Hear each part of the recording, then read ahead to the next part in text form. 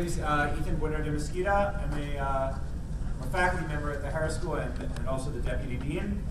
Um, and uh, so, so let me just say, I'm, really happy to be here. I'm uh, in a very, you know, I'm, I'm, my own my own work is uh, primarily on security issues. Um, I work on insurgency and uh, counterterrorism. I'm also um, I'm, I'm married to a, uh, a, a, a nonprofit startup uh, founder, and so uh, I've spent a lot of the last five years hearing uh, elevator pitches and transitioning from founding boards to operational boards, and how you go from being a content creator to managing people. So uh, these are topics that have somehow become near and dear to my heart, even though I have no entrepreneurial instincts myself. Um, but I, I know how important these things are. Um, so what we wanted to kind of focus on today, uh, as best we could, is to try and provide some perspective on how people working um, in, in applied security questions um, could engage the academy. And so um, I think there's a there's a there's a, a couple pieces to that that are that are worth highlighting before I turn it over to my colleagues. Um, so, so one of those is, I think, a, a, common sort of issue. So I think the Academy provides a lot of, of opportunities and a lot of resources for people interested in working in these issues, both, um, both in the private sector and in the public sector. Uh, and, and in particular, as some of you may know, I mean, in, in, a lot of ways, the Academy is a, is a wonderful source of free labor because academics are um, motivated primarily by questions that we want to answer, and we're willing to work on them pretty hard if we think that there's something uh, interesting at the, at the end of the tunnel. And so the question is how do you engage an academic who wants to work on a question in something that you're interested in? And so I think uh, these presentations are going to give you some more perspective on this, but what I, I just wanted to highlight a few kind of points which in my experience working, um, I've, I've, I've, done a fair bit of work with people in the practitioner community in one way or another, um, some common pitfalls and then some common things to be aware of to make, to make what you're interested in more attractive to academics um, who are typically interested in you know, kind of the analytical side of these things. And so um, I think there's, there's sort of two ways that you motivate an academic uh, to get interested in your project. And I think the common mistakes involve uh, not hitting on either of these when you, when you when you're talking to when you're talking to that professor. Um, because the, the, academics are not by and large practical people, and so they're not necessarily motivated by the outcome you're motivated by. They're typically motivated by one of two things. One is like there's some question about how things work in the world that they want to answer that is relevant to the thing you're trying to do, and you have some resources available to try and answer that question, right? So framing things in terms of questions that are interesting to academics is sort of the first order thing to get an academic interested in the project. And the second thing, and probably the more practical version of that, is that academics are motivated by data that they don't have access to. Right? So in the security space, you know, in the post 9/11 world, there's been a huge investment of academic resources and academic time into studying security issues and studying counterinsurgency, even at pretty practical levels, doing program evaluations of of you know military, you know big program evaluations of like the Commander's Emergency Response Program, of uh, the National Solidarity Program in Afghanistan, right? Practical program evaluations of what was the efficacy of these kinds of interventions, where did they work, how did they work or not work. Um, and those people got engaged because parts of the military or the Department of Defense were willing to release data to academics that, that allowed us to answer questions we cared about that we couldn't answer without the data. And, and so that's where the trade is, right? Where that's where the where I'm very happy to work on these things, right? And we're not kind of consultants, right? We're happy to work on these things, um, you know, as part of our academic uh, efforts because there's data that lets us ask, answer questions that if we're not partnering with you, we don't have access. And so I think those are the, those are the kind of the, the, the, the, two ways in. And I think the common mistakes are to think about academics and approaching academics um, to get interested in a project in a way that is more like you would approach, say, a business, which is not which is not typically the right thing. Academics are typically motivated by a different set of concerns. Um, so, so, so I think the way then to, to know how to engage the academy, to have these fruitful partnerships, and I do think they're important on both sides. For the academy, they're important because uh, they help us understand what are the right questions to ask, and they help us get access to information that we don't otherwise have. And for the practitioner community, I think the academy brings a bunch of analytical skills, it brings certain kinds of habits of mind, um, and it brings some time and space to think hard about important questions that, that people in more operational settings might not have the time and space for. Uh, so I think these partnerships are, are important on both sides. And so I think in order to sort of have those, those partnerships be fruitful, we need to spend a fair bit of time together understanding what motivates both sides so that we can understand where there are in fact gains to country to be had. And so the goal today is to, is to show you a little bit about what, what two of my colleagues um, are working on and thinking about in, in this space, you can get more of a sense of what are the kind of mechanistic questions that motivate us, what are the kind of data that are useful, for, useful to the academy and might also be the analysis which might also be useful to you for the kinds of questions you're interested in. So I'm going to stop there. Um, I have two colleagues. Um, Beth, uh, here, Ben Lessing, who's a, a, faculty member in the political science department at, at Chicago, and Luis Martinez, who's uh, a faculty member at, the, at the Harris School of Public Policy, and they're going to each spend a bit of time giving you a sense of the things they think about um, and how they think about them, and then we're happy to just open it up to questions and have a talk. So I think Ben's going to get us started. Great. Thanks, Ethan. Um, it's a pleasure to be here. Thanks for having me over today. I just to follow up a little bit on, pick up on something Ethan said. I often find, you know, we academics are famous for speaking this sort of strange language that doesn't make sense to other people. Sometimes seems to be designed to have not made sense to other people. Um, I often find not being an entrepreneur myself, or even being married to one, uh, I find the same thing. I often don't understand what people in the startup world are even talking about. I don't know the terms, and uh, I don't really know sort of even the goals they describe. Uh, this also happens when I talk to young people. so, uh, but I'm just going to today sort of talk in my language, and please in the Q&A, if, if, something I said didn't make sense, I, this is a very unfiltered uh, little overview of what I do that I'm going to give. But, uh, you know, so hopefully it makes some sense, and then feel free to, to, to sort of ask me to explain what I was talking about in Q&A if it was of interest to you. Uh, so I, I'm, i work on a field that is really sort of nascent uh, and, and not well established, which I, I call or think of as criminal conflict. And this is sort of organized, sustained, armed conflict involving criminal groups as opposed to what we traditionally think of armed actors as being often insurgencies or militias or other politically motivated groups. Um, and my focus is Latin America. I've spent a lot of time in Latin America, uh, even before I became an academic, uh, working on security-related issues.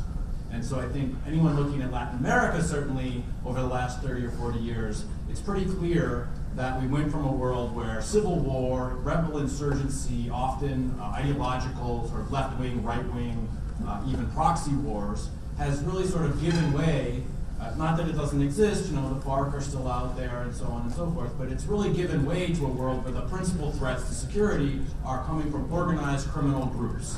And it's not even, it's even a little bit strange to call them organized crime because in the US context, organized crime can be pernicious, but it's not particularly violent in the sense of attacking state forces, killing police or mayors or public officials or doing terrorism campaigns. Uh, but in Latin America, criminal groups engage in this kind of violence, and on a sustained basis quite frequently. And probably the, the most uh, relevant example of that in your minds, and certainly in mine, is, Mexico over the last uh, 10 or 12 years, you know, really sort of transformed into a battleground uh, with some 70, 80,000 people killed in this drug war. My particular areas of focus, one is precisely that sort of militarized drug war situation, and in particular, I focus a lot on what I call cartel state conflict. So these are you know, sort of long, drawn out conflicts in which state forces and, and drug trafficking organizations are engaged in sustained uh, armed conflict over, over can often be you know, significant periods of time. And Mexico is a leading example, but of course Colombia, particularly the 1980s, is another well-known example of this. And my own sort of specialized area of research is in Rio de Janeiro, which you may or may not know has also had a, very violent, con ongoing conflict for really 25, 30 years. So basically a generation. Uh, uh, uh, and with often, you know, I mean, it's a, it's a city, it's not a country, but I would say, I would argue, pretty high levels of violence on the order of three to 4,000 deaths per year over a very sustained period of time. So I sort of try to understand what motivates drug cartels to, to fight the state, really, uh, to, you know, with, with, with bullets and, you know, sustaining enormous losses over time. I also work on a, a couple of other areas uh, that have to do with criminal organizations. In particular, I'm, I'm very interested in uh, prison gangs, which might not sound terribly dangerous in the U.S. context, although we have some of, we have, you know, the, we, there are very powerful prison gangs operating in the United States, uh, very well organized prison gangs. But in the Latin American context, they're actually very dangerous, very, uh, you know, often controlling uh, enormous prison populations, eight, something, hundreds of thousands of people in, for example, Sao Paulo's prison system is thought to have about 400,000 people prison in, in prison, and virtually all of those prisons are under the control of a single criminal organization. And in 2006, that organization uh, launched a wave of attacks in Sao Paulo, uh, in the streets of Sao Paulo, that shut the city down for three or four days and really held the, the, the government hostage to their demands, which were eventually met and the violence stopped. So it gives you a sense of the kind of risk that these groups pose. Their leaders are already in prison, so it's not clear what you do to fight groups like this. Um, so th those are sort of my areas of research. Let me say a little bit about how I work. Uh, there's definitely an empirical component to my work, and of course, I, you know, I do my own data collection sometimes. I've done coding from newspaper reports where official data wasn't available. Also, to pick up on something Ethan said, uh, when governments make data available, it's obviously incredibly useful. But there's a lot of problems with that, uh, particularly you know, moving away from a U.S. context. Some of these governments have maybe not the best data collection, or it's very opaque. You don't know the quality of the data. They release and then retract data on politi- based on sort of political uh, decisions. It's not often made by operational people, but rather politicians. So this happened in Mexico. The government released a giant data set of, of drug war deaths and then recanted it, and then re-released it a few months later, and then decided they would never again do that. So we have this data set that runs up until 2011 and then just cuts off, and we don't know what happened after that. Um, okay, but that's only a piece of what I do, and I would just say, you know, to kind of bring you into the crazy world of, of political science and academia, a big component of what I do we call conceptualization, which basically means trying to define, uh, come up with of clear ways to define the phenomenon that you're trying to study. And that might seem simple, but if you start to think about the, the line between what I mentioned at the beginning, political uh, armed groups and criminal armed groups, well, that's a very fuzzy line, and it's getting fuzzier by the day. You know, ideological groups, fundamentalist groups, frequently make their money dealing in drugs, right? So are they a criminal group or are they ideological? Are they terrorists? Those names have huge political valence. So if you don't want to negotiate with a particular group, uh, you try to say that they're criminals. If you do want to negotiate with them, you say they're sort of freedom fighters or political activists or whatever. So there's a tug of war in the political realm over what to call these groups. I try to come up with categories that are analytically useful in the sense that do these groups behave the same way? Do they respond to state policy the same way? Uh, you know, do they face the same sort of incentives and constraints? And that process, you know, it might seem kind of weird and sort of sitting in your armchair philosophizing, but it can often be quite useful. Uh, and just to give an example, you know, when the drug war began in Mexico, there was some talk about, oh, are these insurgents? Are these criminal insurgents? And in fact, Hillary Clinton, when she was uh, Secretary of State, called them insurgents in a public speech and made a parallel to, to Colombia. And this turned into a huge diplomatic kerfuffle uh, Mex Mexican government insisting they're not insurgents and so on and so forth. Uh, and this is not a civil war. So these concepts matter in the real world and they also matter analytically for how we think about these groups. I would argue they're not insurgents and if you think of them as insurgents, you're misunderstanding their goals. And then there's also a theoretical component where you know I try to specify sort of causal mechanisms that lead groups to respond with violence or not, and why certain policies work and don't. Uh, so that's sort of how I work.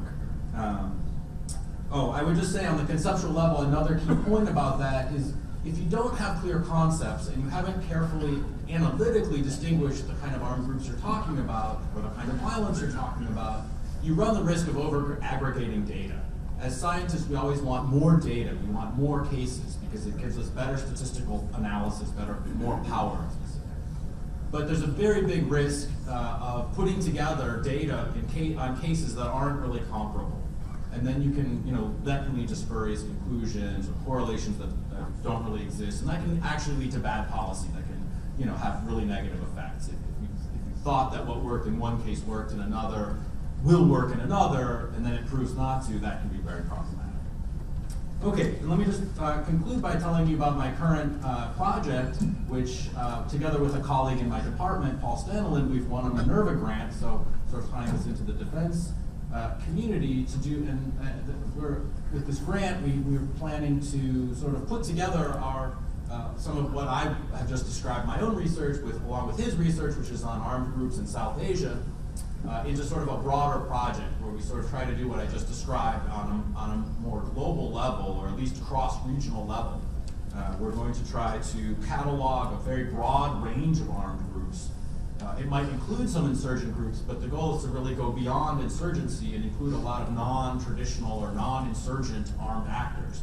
Armed political parties, local militias, organized crime groups, prison gangs, paramilitaries who are often very directly involved in criminal networks, and so on and so forth. Across these regions, both to create a kind of descriptive catalog or database about these groups, which we hope can be useful.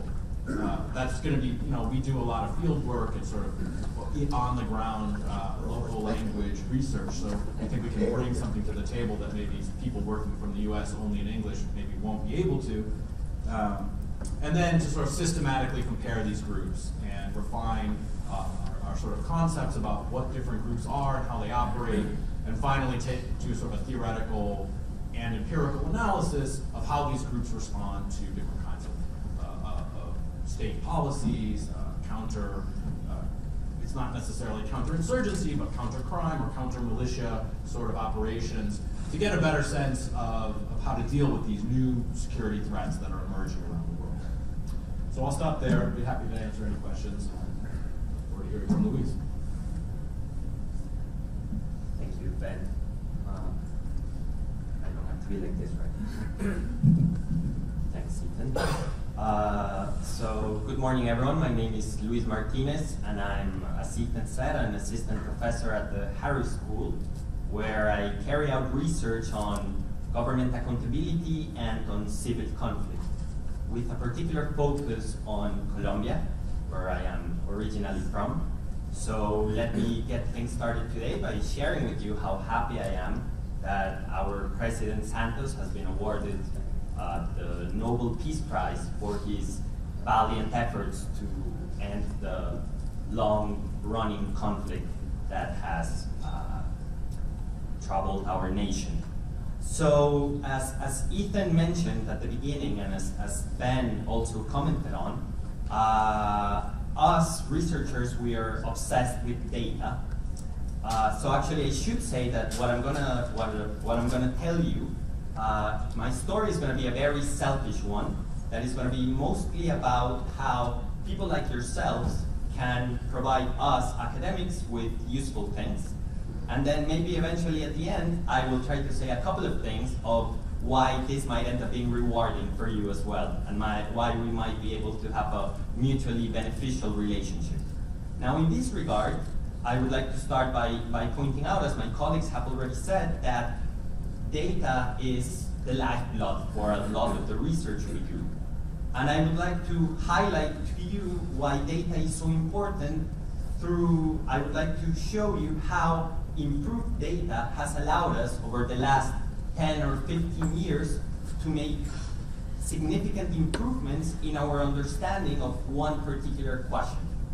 Now, the question that I have in mind has to do with the extent to which negative economic shocks trigger or aggravate civil or, or internal conflicts. Uh, hopefully, I don't, I don't have to spend too much time motivating the importance of this question. Uh, but I can tell you this. Roughly 13 years ago, a very influential paper uh, documented a strong correlation between poverty and conflict incidents. This paper by uh, Fearon and Laitin argued that poverty uh, reduces the opportunity cost of recruitment and, and that leads to, that facilitates insurgent groups or rebel groups activities, and that leads to increased conflict.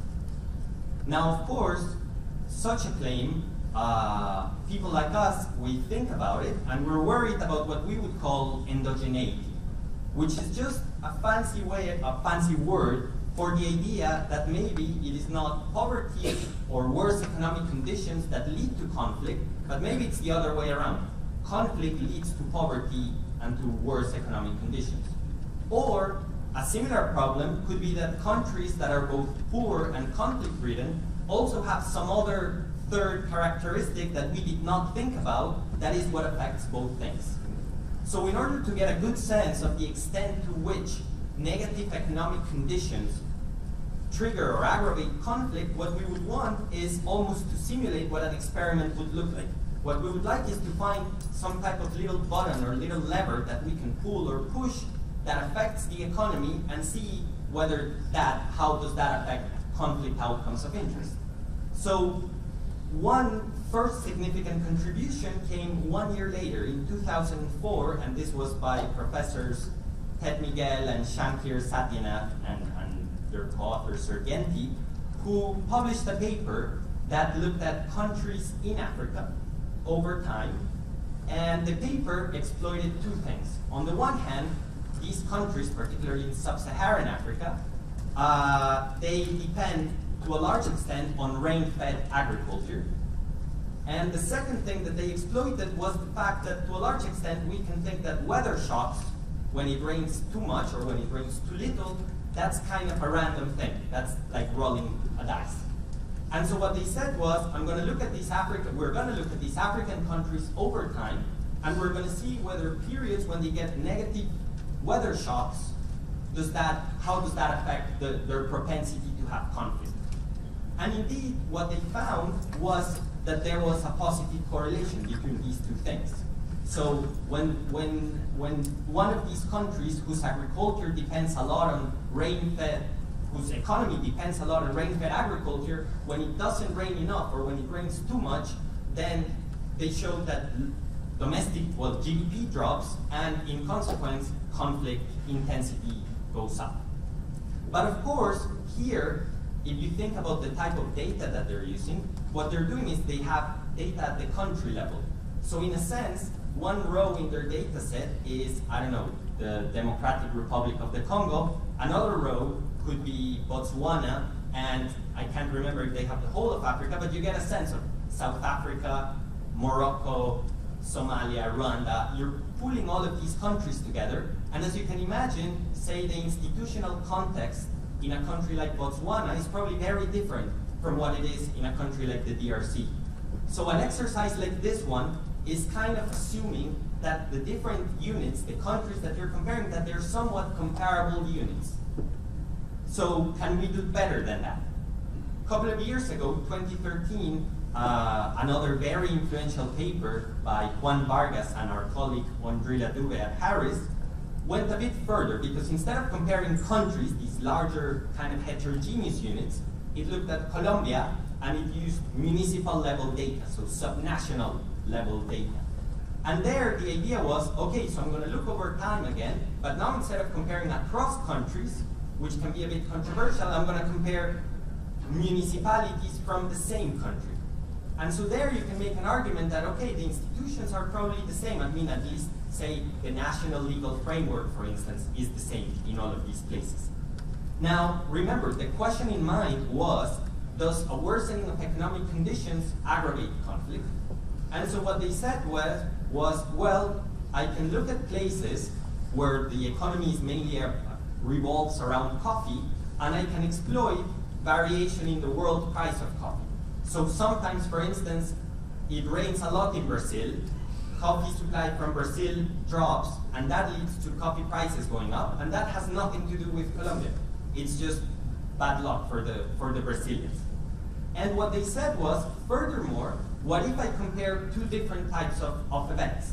On the one hand, I have these coffee-dependent municipalities, and coffee, being an agricultural good, is heavily dependent on labor. So going back to the initial intuition about, is this about opportunity costs? And so workers have a worse outside option, so they're more willing to, to work for these, for these rebel groups. They said, what if I compare what happens in these coffee growing municipalities when the price of coffee moves around versus what happens in oil-producing municipalities when the price of oil moves around. And so the point was, well, oil is capital intensive. You have a bunch of engineers from the city skilled labor that comes, pumps out the oil, and they go back home. The local labor, the local population is not as involved. So if the story is really about a worsening of economic conditions makes it more attractive for local populations to, to, to work for these organizations, then it should observe some type of asymmetry across these two types of shocks. And indeed, that's what their paper documents. When the price of coffee goes up, local wages in these coffee producing municipalities go up, and FARC activity, guerrilla activity, goes down. So indeed, it appears to be the case that when local workers have a better outside option, they're less willing to work for these organizations, and the intensity of conflict decreases. Interestingly, when the price of oil goes up in oil-producing municipalities, there is no significant change in guerrilla activity, which provides us with, with further knowledge or, or kind of confirms a bit our intuition about this opportunity cost story. Now, what they do find for oil-producing municipalities is that paramilitary organizations, going back, going back a bit to what Ben was saying earlier, paramilitary organizations do target more local politicians insofar as they know that these local governments are going to get more oil rents. So they, they try to capture these, lo these local governments. So we move from country level evidence which was interesting, but was forcing us to say that the DRC and South Africa are comparable units to subnational level data, which forces us to say, well, is Bogota an 8 million cosmopolitan city uh, comparable to remote Bojayá in the Pacific coast? Well, maybe it isn't, but you can drop Bogota, you can drop Medellin, you can drop the big cities, and then you're comparing roughly equivalent Colombian municipalities. Now, what's the state of the art these days? If you look, for instance, at a paper by uh, Nina Harari from Wharton and Eliana La Ferrara, they've pushed it even further because what they have is they have very specific GPS data on conflict events, which allows us to take the whole surface of Africa and to break it down into a grid of whatever, one kilometer by one kilometer. How much is that in miles? You get the I don't point. even know what kilometer is. That's what I mean about, like, I don't understand your language. And and so if imagine you take the whole of Africa and you split it up into these very small scale grids. And on top of that, you use not variation across years, but variation within years in weather. And so what they're able to show is that even within a subnational unit, say within a county or within a district, when you get a wet, when you get a bad weather shock, but not only a bad weather shock, a bad weather shock during the crucial growing months of whatever crop is grown in that particular grid cell, the, the intensity of conflict and civil war goes up.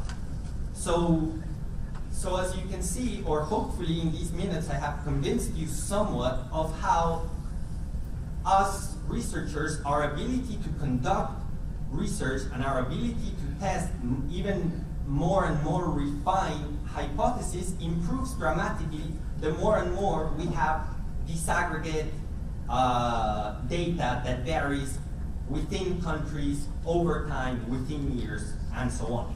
So I guess that my main point, my main objective is done. I would, I wanted to convince you that we, we love data. Please give us more data. Now, my second point, and I'll, I'll be quick about this, is that, of course, data is not everything.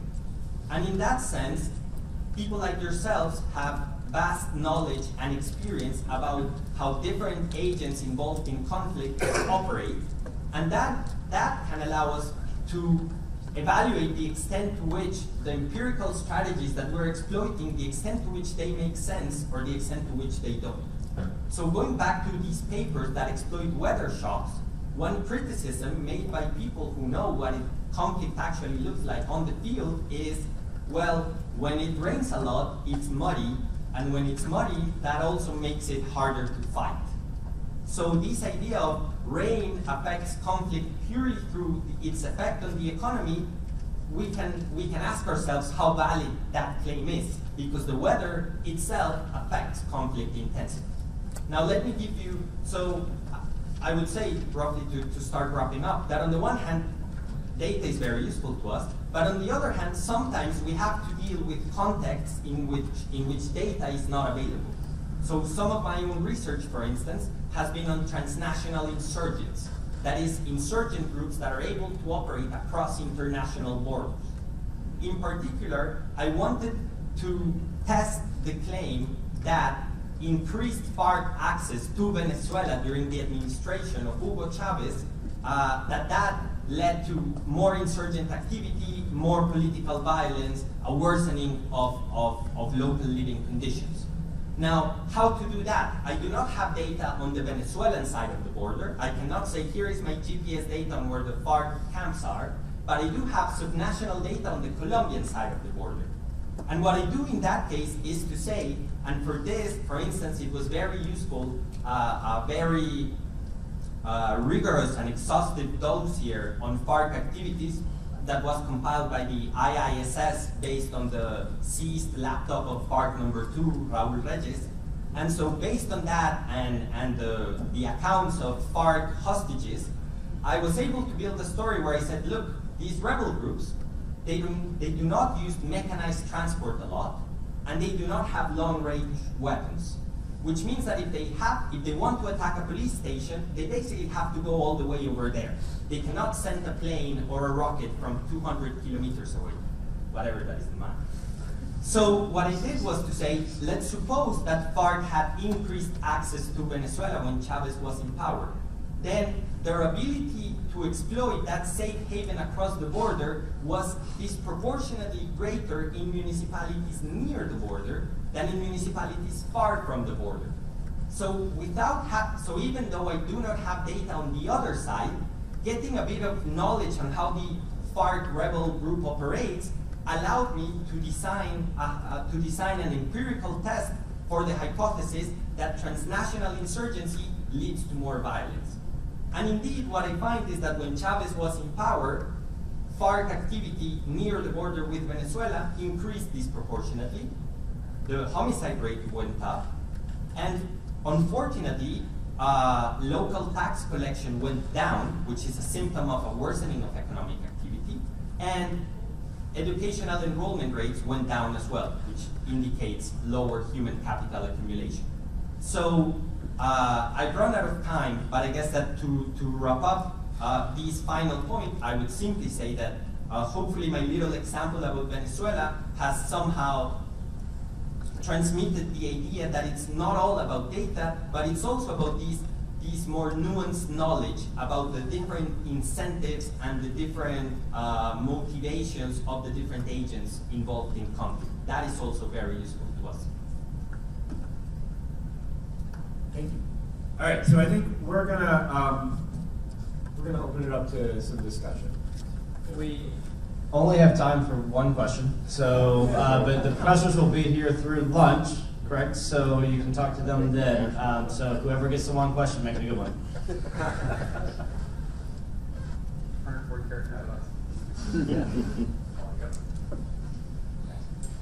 Thanks for coming. Um, I'm struck by, I mean, a lot of people in the room coming from a DoD context can talk about some very similar issues using very different language. And Ben, I thought you said this well, kind of how different the languages are we use to talk about what in the end is the same thing. We're interested in similar goals. Maybe what are your thoughts on how we got so different? And what are some examples of good translation? How do we get, from a language perspective, kind of back and forth from one to the other? Well, I mean, you know, you read a glossary, I guess, is the most, the most straightforward answer. But I, I mean, part of it really is just translation. Uh, and you know, there's terms of art in every field, right? And so one of the nice things about being, you know, uh, when, you know, you go through grad school and you find yourself in a department, and you know, I can come talk to Luis or Ethan, and I can say, well, look, I've got, you know, is the exclusion restriction met? And they know exactly what I'm talking about, right? So we've a, a very complicated scientific concept is boiled down into three words, and we immediately understand it. People who work in entrepreneurship do the same thing. Like, you know, I don't know, price points or, uh, I, I, again, I, I don't even have a good example, but I'm sure that you, you guys can tell me at lunch. But it allows you to communicate very quickly a complex set of ideas. If those ideas are in fact, uh, you know, the same, and, you know, if, if it's just like, I always say, why just say price, just price is the same thing as price point as far as I can tell. So that's, you know, that's an easy one. But if it's a complicated idea and it's not one that your field actually uses or is familiar with, then you really need to sit down for a minute and, yeah, kind of have some sort of glossary with the people you're talking to. Make sure you understand their key concepts and they understand yours. And those concepts may be in, not in full, full agreement. There's a lot of debate about what insurgency is or what counterinsurgency is.